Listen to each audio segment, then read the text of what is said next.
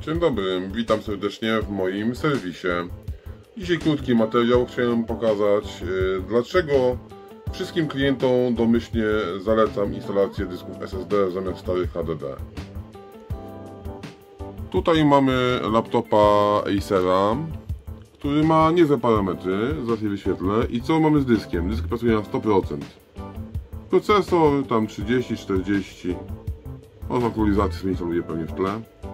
RAMu tak połowa, natomiast dysk twardy jest całkowicie na 100% i ta lampka też właśnie świeci cały czas, o. To jest ta kontrolka tu. I teraz przez to, że ten dysk tak wolno pracuje, to Windows 10 działa tak, że jeśli na przykład wejdę w ustawienia, to patrzcie ile to trwa. No to jeszcze było nie najgorzej. Wejdźmy sobie w system. Kliknąłem. I czekam dopiero. Tu cały czas dysk jest zajęty na 100%. A teraz wyobraźcie sobie, że 10 razy możemy zmniejszyć yy, ten wykres w dół. Czy te 100% to by było 10%. Na papierze oczywiście, no ale. I dlatego dyski twarde, zwykłe, talerzowe, to już przeżytek. To są nasze parametry. Tu mamy i trójeczkę 2,2 giga, 4 giga RAMu, 4 bity system.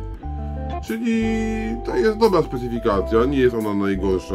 Do internetu komputer, do filmów w zupełności wystarcza. Kliknę menadżer, zadań, urządzeń, czekam.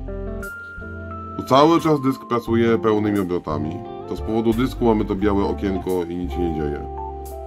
O, tu jeszcze mamy dwóch sterowników zainstalowanych, oczywiście zainstalujemy je. Jakaś intelowska grafika. Cztery wątki i trójki. To naprawdę nie są najgorsze parametry, tylko tu cokolwiek, no nie wiem, klikniemy sobie e, ustawienia bitblockera.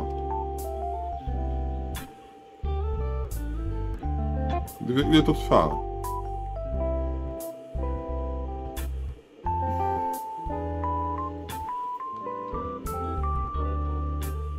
O, uaktualnienie do 11 Pro za 629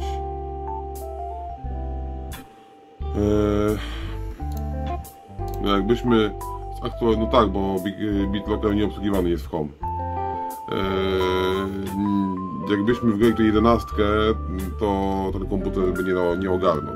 Ale z powodu, tylko i wyłącznie z powodu e, dysku twardego teraz się uspokoił już to już dużo czasu minęło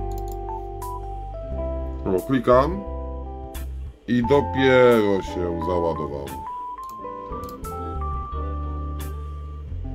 Tak więc yy, dlatego właśnie zawsze dyski SSD powinny być zakładane do tych komputerów. Inaczej komputer będzie zamulał, będzie wolny, będzie słaby. Windows 10, Windows 11 zakłada, że domyślnie dysk SSD jest już w systemie. Pozdrawiam ślicznie. Mam nadzieję, że temat został wyjaśnione w całości.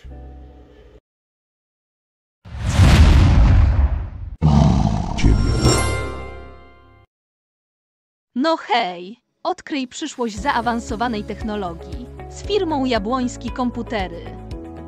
Dołącz do nas, aby obejrzeć ekscytującą serię filmów poświęconych nowoczesnej elektronice.